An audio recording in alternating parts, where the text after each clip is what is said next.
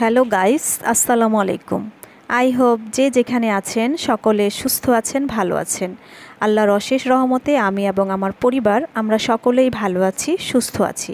পরম করুণাময় আল্লাহর নাম নিয়ে আমি ফাতেমা, আমার আজকের ব্লগটি শুরু করছি। আজকে আপনারা উপভোগ করতে যাচ্ছেন মামা ভাগিনীর ফুসকার চ্যালেঞ্জ। ফুসকার পুট্টি তৈরি করার জন্য আমি এখন রান্নাঘরে চলে যাচ্ছি। আমি এই যে চটপটির যে ডালটা, সেটা আমি ভিজে রেখেছিলাম, এভাবে ফুলে উঠেছে। এখন আমি এই চটপটির ডালটা ভালোভাবে ধুয়ে নেব। ভালোভাবে ধুয়ে তারপর আমি এটা প্রেশার কুকারে সিদ্ধ করে নেব। পারফেক্ট একটা ফুচকার পুর তৈরি করার জন্য। অনেকে বলে যে পারফেক্ট ফুচকার পুর তৈরি করতে গেলে নাকি এই ডাবলি বুটটা গলে যায়। কিন্তু আজকে আমি একদম পারফেক্টলি কীভাবে ফুচকার পুরটা তৈরি করা যায় আপনাদেরকে দেখাচ্ছি। আমি ভালোভাবে ধুয়ে নিয়েছি। এখন আমি এই বাটিটার পনে এক বাটি পরিমাণের পানি দিয়ে দিলাম। বেশি পরিমাণের পানি দিব না, যেহেতু আমি ফুচকার পুর তৈরি করব, তাই আমি অল্প পরিমাণের পানি দিয়ে নিলাম। এখন আমি এখানে অ্যাড করে দিব পরিমাণ মতো লবণ।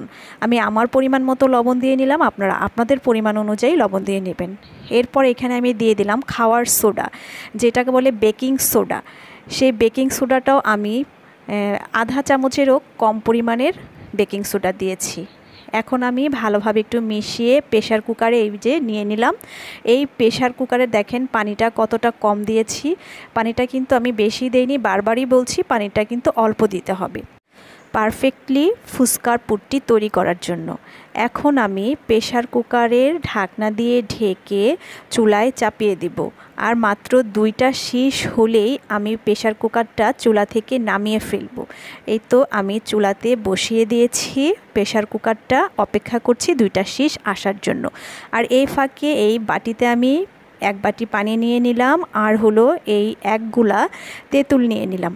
ফুচকার জন্য এখন আমি তেঁতুলের টকটা তৈরি করে নিব।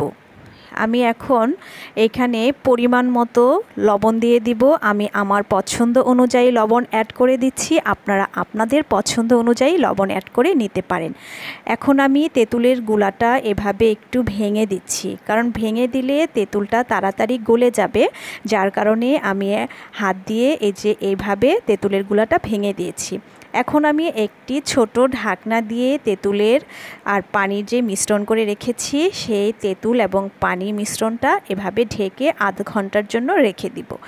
আধ ঘণ্টা পরে ঢাকনা উঠিয়ে আমি তেঁতুলের টকটা এভাবে মেখে নিয়েছি। দেখুন কতটা সুন্দর হয়েছে, একদম সম্পূর্ণ গুলে গিয়েছে এবং পারফেক্টলি একটা তেঁতুলের ঝোল হয়েছে। এখন আমি একটা হাঁড়ির মধ্যে দিয়ে এই যে তেঁতুলের এই টকটার মধ্যে এক টেবিল চামচ পরিমাণের চিনি দিয়েছি। আমি একটু একটু মিষ্টি টক তৈরি করব, তাই অল্প পরিমাণের চিনি দিয়ে দিলাম আর হাফ চামচের কম পরিমাণের আমি বিট লবণ দিয়ে দিলাম। এখন আমি এই তেঁতুলের টকটা পারফেক্টলি তৈরি করার জন্য চুলায় চাপিয়ে দিলাম। দুইটা থেকে তিনটা বলক আসলেই আমি তেঁতুলের টকটা নামিয়ে ফেলব। বলক আসার জন্য অপেক্ষা করছি।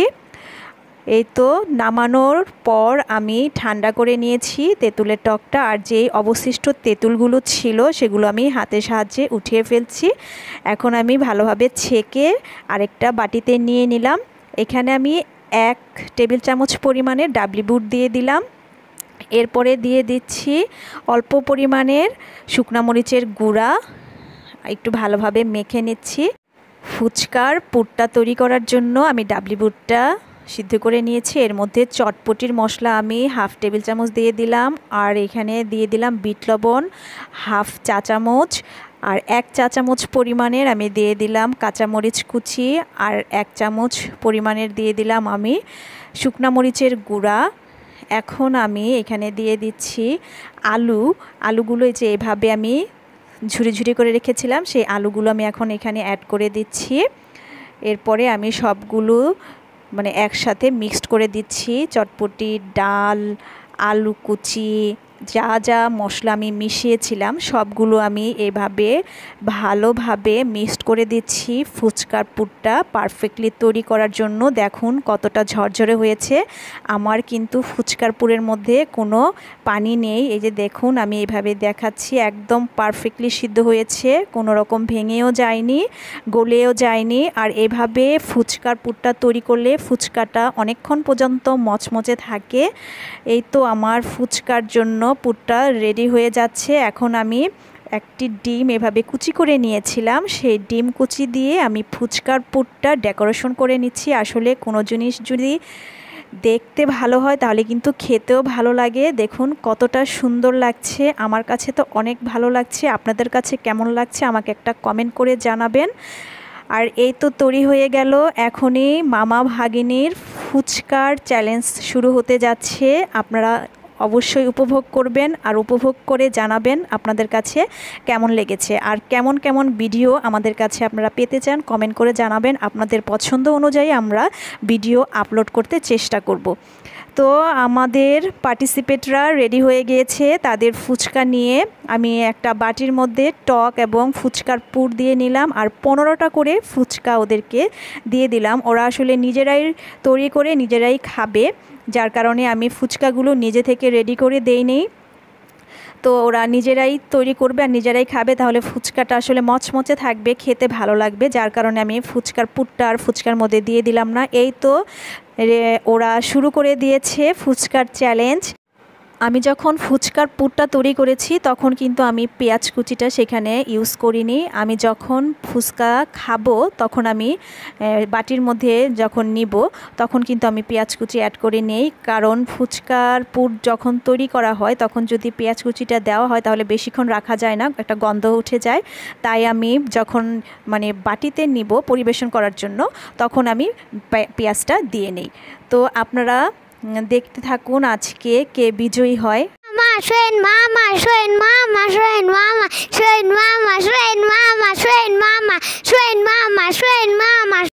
আপনারা শুনতে পাচ্ছেন আমার ছেলে কীভাবে স্লোগান দিচ্ছে মামার পক্ষ নিয়ে। আসলে সময়ে বলবে কে আজকে উইনার হবে।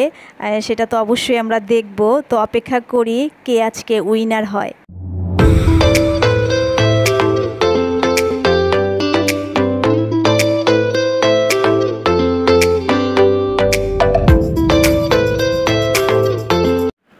আপনারা দেখতে পাচ্ছেন, ফুসকার চ্যালেঞ্জ কিন্তু খুব জমে উঠেছে।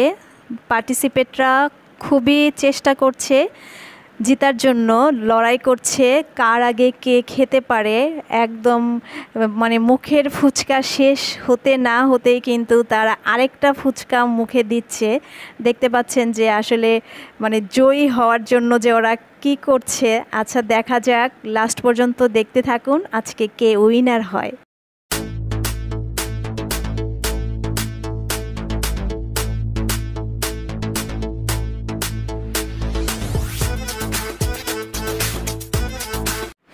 ফুচকাটা যেন ওরা মজা করে খেতে পারে, তার কারণে আমি ফুচকার মধ্যে পুরটা মানে দিয়ে দেইনি। আসলে চেয়েছিলাম ওরা আসলে মজা করে খাক আর চ্যালেঞ্জটা করুক, কিন্তু দেখা গেল যে ফুচকার, আমি যেহেতু পুরটা ফুচকার মধ্যে দেইনি, ওরা করছে শুধু ফুচকা খাচ্ছে, ভালো করে পুরটা ঢুকাচ্ছে না, যার কারণে দুজনেরই আসলে দেখা গেছে একজনের ফুচকা শেষ হয়ে গিয়েছে, আরেকজনের ডাবলি যে ছিল, ফুচকার পুরটা যে ছিল, সেটা শেষ হয়ে গিয়েছে। ওরা আসলে একটু ফাঁকিবাজি করে ফেলেছিল, যার কারণে আমি আবার কি করলাম যে চ্যালেঞ্জটা যেন সম্পূর্ণ হয়। আপনারা দেখতে পাচ্ছেন আমার ভাই উঠে গিয়েছে, কিন্তু ওর হচ্ছে এখনও বাটির মধ্যে পুটটা রয়ে গিয়েছে ওরা এরকম ফাঁকিবাজি করেছে দেখে এখন আমি আবারও পাঁচটা করে ফুচকা একদম পুর দিয়ে দিয়েছি। এই যে আমার ভাই একটা মানে সরিয়ে ফেলেছে। এই দেখেন আবার রাখল। তো এভাবে আবার পাঁচটা পুর সহ আমি দিয়ে দিলাম। এখন আবারও ওদের ফুচকার চ্যালেঞ্জ হবে। পনেরোটা খেয়েছে, এখন এই পাঁচটা যে আগে খেতে পারবে, সেই আজকে উইনার হবে। দেখা যাক আজকে এই পাঁচটা কে খেতে পারে। এই তো ওরা খুব চেষ্টা করছে তাড়াতাড়ি করে খাওয়ার জন্য। দুজনে আসলে অস্থির হয়ে গেছে। ফুচকাগুলি কিন্তু একটু বড় বড় ছিল। তো পনেরোটা অলরেডি খেয়েছে, আবার ওই পাঁচটা এক্সট্রা এই এক্সট্রাটা খেতে আসলে ওদের অনেক কষ্ট হচ্ছে। ওদের জন্য আপনারা একটা লাইক করে দিবেন। এই যে দেখুন, আমার ভাইয়ের দুইটা ফুচকা রয়ে গিয়েছে, আর আমার মেয়ে যে অলরেডি খেয়ে ফেলেছে, আমার ভাই আর খেতে পারেনি। তো আজকে ফুচকার চ্যালেঞ্জে উইনার হয়েছে আমার মেয়ে। তো ও কখনোই আসলে বুঝতে পারেনি যে ও উইনার হতে পারবে। তো এই যে করলার জুস খাবে আজকে যে মানে হেরে যাবে। তো আমার ভাই হেরে গিয়েছে, ও নিজেই করলার জুস তৈরি করছে। এখানে দুইটা করলা, ছোট ছোট করলা, এভাবে ছোট ছোট টুকরা করে নিয়েছে। এখন এগুলো ভালোভাবে ধুয়ে ব্লেন্ডার করে, এই তো দেখেন করলার জুসটা ও খাওয়ার চেষ্টা করছে। কিন্তু করলার জুসটা এতই তিতা ছিল, ও মুখে দেওয়ার সাথে সাথে যে বমি করে দিয়েছে। আসলে ওর খুবই কষ্ট হয়েছে করলার জুস আসলে কেউই খেতে পারে না। আমার আজকের ব্লগটা এই পর্যন্তই। যদি আপনাদের ভালো লেগে থাকে, তাহলে অবশ্যই আমার চ্যানেলকে একটা লাইক, কমেন্ট, শেয়ার, আর যদি আমার চ্যানেলে আপনি নতুন হয়ে থাকেন, তাহলে সাবস্ক্রাইব করে পাশে থাকা বেল বাটনটা ক্লিক করে রাখবেন সবার আগে ভিডিওর নোটিফিকেশনটা পেয়ে যাওয়ার জন্য। সকলে ভালো থাকবেন, সুস্থ থাকবেন, আমার এবং আমার পরিবারের জন্য দোয়া করবেন। আল্লাহ হাফেজ।